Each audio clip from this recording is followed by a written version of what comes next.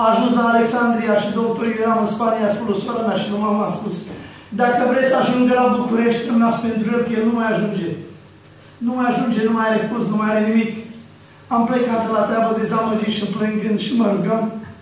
Soacra mea spune, zice, condutul Mariene că foriste nu mai plâng. Și am zis, Doamne, pentru mine nu este o pierdere ca tată, este o pierdere pentru sufletul lui, că nu știu dacă este pregătit pentru tine. Dacă am să plec de acest pământ, o mare pierdere pentru familia mea, nu va fi. Va fi o mare pierdere pentru sufletul meu. Pentru că nu sunt pregătit, de aceea de să ne pregătim. Mă rugam și plângeam la volan și am zis, Doamne, te rog frumos, dai și până acasă îmi vorbești, pentru că Tu ești Dumnezeul meu. Eu am stat de vorbă cu Tine și Tu mi-ai vorbit ce să fac, Doamne.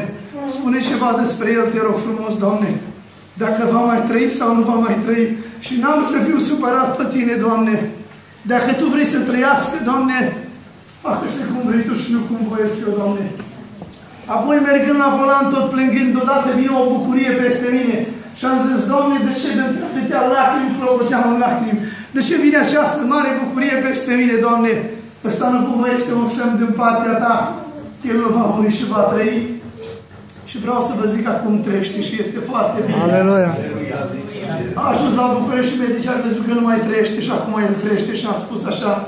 Acum nu vreau nimic de la tine, ia Biblia și mergi pe stradă și spune oamenilor ce a făcut Dumnezeu pentru tine. Ai fost mort și ai înviat de două ori. Morți am fost și noi și suntem morți. Dar Dumnezeu ne-a dus la viață. Am fost morți în păcat și Dumnezeu și-a dat viața pentru noi și ne-a dat viață.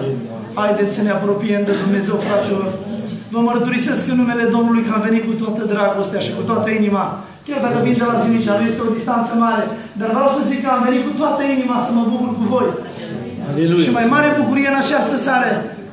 Eu v-am făcut o bucurie în această seară și v-am spus lucruri de care să ne apropiem de Dumnezeu. Dar în această seară doresc ca Dumnezeu să ne facă mai mare bucurie. Doresc ca Dumnezeu să ne umple inimile cu bucurie. Doresc ca Dumnezeu în această seară să ne vorbească.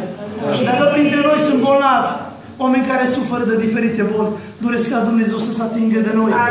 Eu cred că în această seară sunt oameni aici care plânge pentru stări diferite, pentru copii, pentru părinți și pentru cei dragi.